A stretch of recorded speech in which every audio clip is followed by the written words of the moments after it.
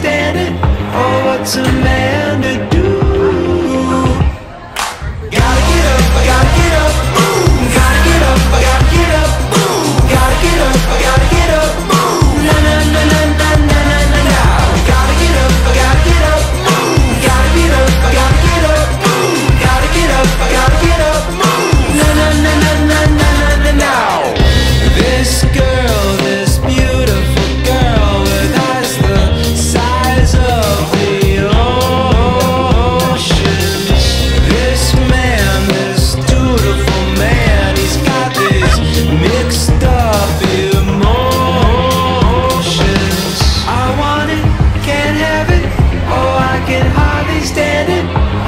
to make